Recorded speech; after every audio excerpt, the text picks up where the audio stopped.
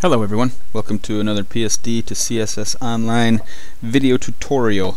My name is Sean and uh, this is actually not as much a tutorial as an explanation of what the final crop is. Um, it's uh, one of the guidelines that you use when you prepare your Photoshop file or GIMP file uh, for conversion into a web page at PSD to CSS Online. Um, the, the actual instructions are just to crop the image to the size that it already is which doesn't make any sense at all. It doesn't sound like it makes any sense, but I'm going to show you why it makes sense, and maybe if uh, if you can see what the point is, what the uh, you can. Uh, I, have, I, have, a number of users who have problems related to this, and and uh, if you can see why it uh, why it's a good idea, maybe that'll help illuminate and maybe alleviate some of the some of the problems. So what we're going to look at here is a Photoshop design of a simple and kind of useless web page, but it's got a cute kid in it. Um, this uh, is just got two layers. There's the primary layer that is the background image, and then uh, there's another layer that has some text here that just describes what it is. But uh, as you can see, I have here. Let's zoom in on this. I'm uh, I'm kind of zoomed out. This is a pretty big web page. excuse me, it's a thousand pixels wide, um, which isn't terribly big, but uh, but the thing about it is that this this layer, this background layer, is pretty. It's big. It's much larger than the visible active area of the Photoshop file. Um, this this is the size of the file uh, per. Let's see, what do we call it over here? Canvas size. It's the size of the canvas. Um, it's a thousand pixels by 800 pixels, and uh, I don't know if on the YouTube video if you can see the uh, the borders of the the background layer but you can see them here it's it goes from there I don't know how much of that's inside the the viewport but um, but it's big. It's it's taller and much much wider and and drops down below um, see it goes way down here too. It's uh, it's enormous. It's much much bigger. And you might think well so what? I don't care. I only am worried about what's in the uh, uh, in the active region, what's in the canvas. But the problem is that PSD to CSS Online is going to take that whole layer and convert it to an image and and include it absolutely positioned correctly in your page, so it'll look right. But uh, at, at, least in this case, it'll look it'll look right uh, most of the time. You'll see what I mean in a moment.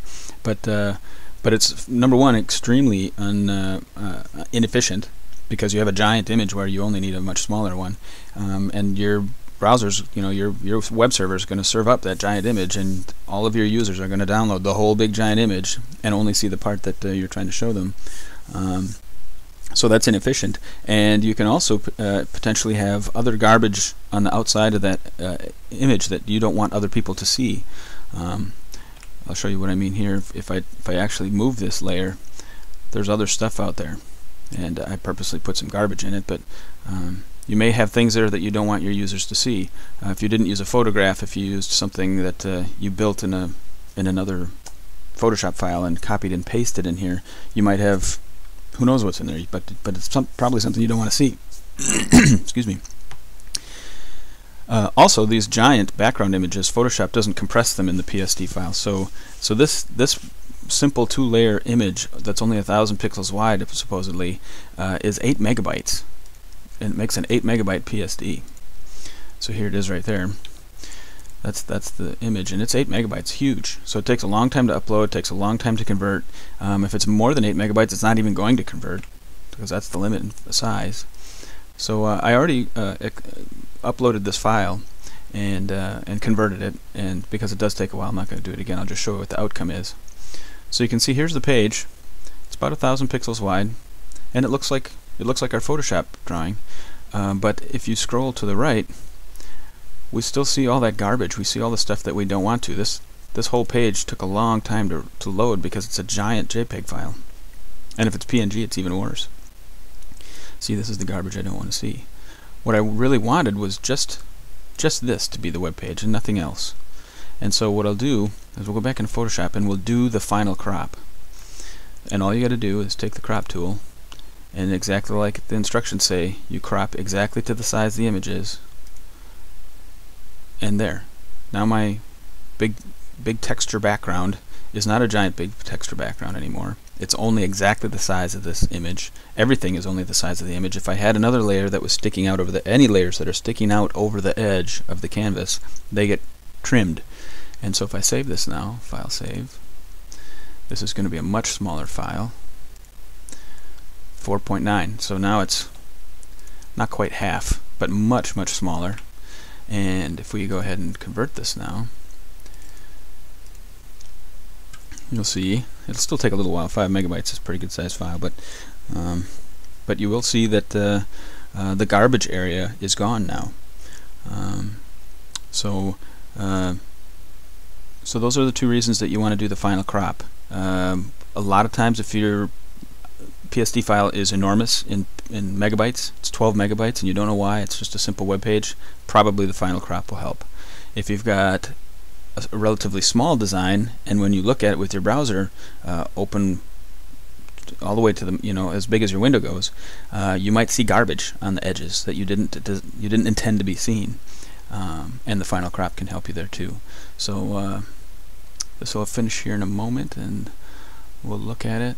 There we go, and view your converted web page. Um, it still takes a little while to load that big JPEG. Did I call it JPEG? I thought I did. Oh, I didn't. It's a PNG. That's why it took so long. So, uh, but as you can see, if I make this big, it's I don't have the extra garbage anymore. It's only what I wanted to send. Um, and uh, of course, my mistake was to. This should be called something.jpg, so that that uh, underscore JPEG because there's no transparency. That's a different tutorial though. So uh, that's why you want to do the final crop. It really is just taking the crop tool and cropping the image to exactly the size it already is. And that's the trick, and it's useful, and uh, do it every time. The reason that I don't have a PSD to CSS Online do that automatically for you um, is that there are sometimes special tricks where you actually want something to stick out the edge and then if I made uh, if I made the tool automatically do the final crop it would break those situations. Um, a good example is the uh, multi-page menu tutorial or the multi I don't think it was a tutorial but the multi-page menu uh, issue that uh, that is in a story from a couple weeks ago that you can see on the website. But um, but in general you want to do that and uh, that's that. So thanks